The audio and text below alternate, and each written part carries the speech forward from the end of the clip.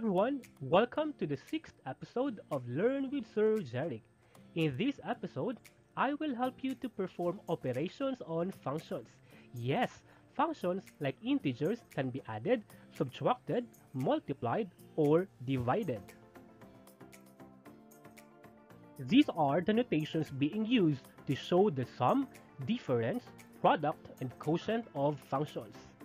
So, let f and g be functions. The notation for their sum is f plus g of x is equal to f of x plus g of x. For their difference, f minus g of x is equal to f of x minus gx. For their product, f times g of x is equal to f of x times g of x. And for their quotient, f divided by g of x is equal to f of x divided by g of x, where g of x must not be equal to 0. Let us try some examples. Let f of x is equal to 3x minus 1 and g of x be equal to x squared minus 2. We are going to find f plus g of x, f minus g of x, f times g of x, and f divided by g of x. Let us start with finding the sum of the given functions. So, f plus g of x is equal to f of x plus g of x. Now, we are going to substitute the given values of f of x and g of x. So our solution will become f plus g of x is equal to the value of f of x which is 3x minus 1 plus the value of g of x which is x squared minus 2. This time, we are going to arrange the terms beginning with the term with the highest exponent. So our solution will become like this. f plus g of x is equal to x squared plus 3x minus 1 minus 2. Now, we need to combine similar terms. Take note, similar terms are those terms with the same variables and exponents. I repeat, similar terms are those terms with the same variables and exponents. In this case, the terms that are similar are only negative 1 and negative 2 because x squared and 3x have different exponent. So, negative 1 minus 2 is equal to negative 3.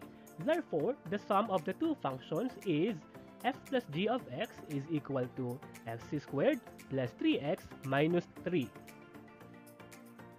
Subtracting functions follows the same process. So, we write f minus g of x is equal to f of x minus g of x. Substitute the given values of f of x and g of x. Now, we need to apply the rule in subtracting integers. The minus sign will become plus sign and the signs of the subtrahend will change.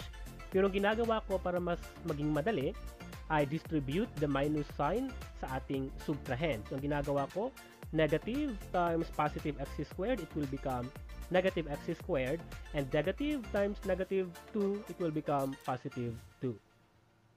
So, we'll have this result. Then, we are going to arrange our answer. So, we will have negative x squared plus 3x plus 2 minus 1. Combine similar terms. So our similar terms are positive 2 and negative 1. Since they have different signs, we are going to subtract the two terms. So our final result will be f plus g of x is equal to negative x squared plus 3x plus 1. Moving on, let's find the product of f of x and g of x. So we write f times g of x is equal to f of x times g of x. Substitute the values of f of x and g of x. f times g of x is equal to 3x minus 1 times x squared minus 2. Now, we are going to apply the distributive property of multiplication. We are going to multiply 3x to x squared and negative 2. Then we are going also to multiply negative 1 to x squared and to negative 2. The result will be 3x cubed minus x squared minus 6x plus 2. As you can see, we have no similar terms, therefore this is already our final answer. Now, for the quotient of the given functions. First, we are going to write the given notation for the quotient of two functions. So we write f divided by g of x is equal to f of x divided by g of x. Substitute the values of each function. So we have the following. f of g of x is equal to the value of f of x which is 3x minus 1 divided by x squared minus 2. If you remember, in dividing polynomials, we need to perform factoring methods to find out if they have similar terms that we can cancel out. In these examples, the values of f of x and g of x are called prime, meaning we cannot factor them into polynomials of lower degree. Therefore, this is already the answer.